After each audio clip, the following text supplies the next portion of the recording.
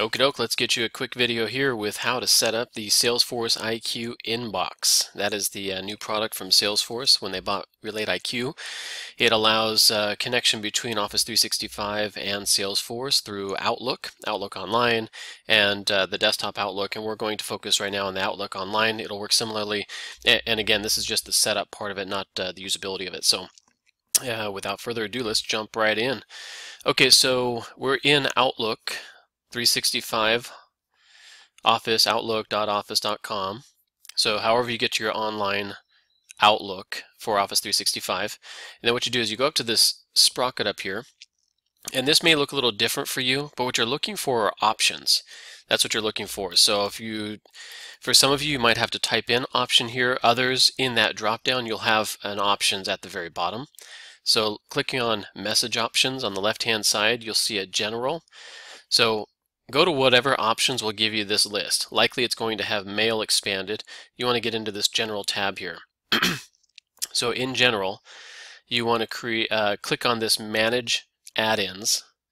This will give you a list of your add-ins that you have. We're going to click the plus sign and then we're including the URL in the uh, description of this video down below.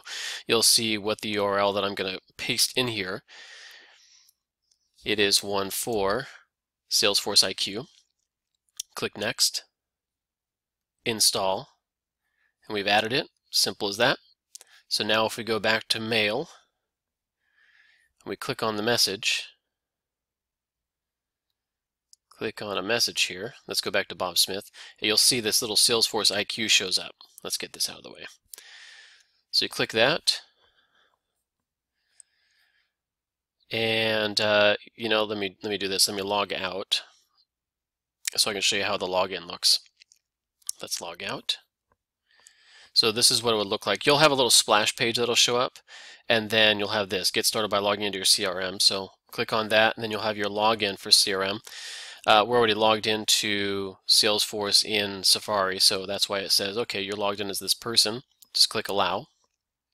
That then connects Salesforce IQ with your Outlook, and as you can see here, it's uh, got this little window into Salesforce.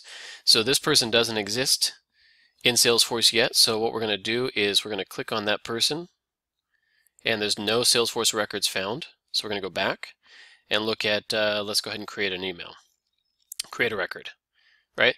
And we'll show other videos that'll, the, the usability of this, but that is how you connect it. Hope that helps. Have a great day.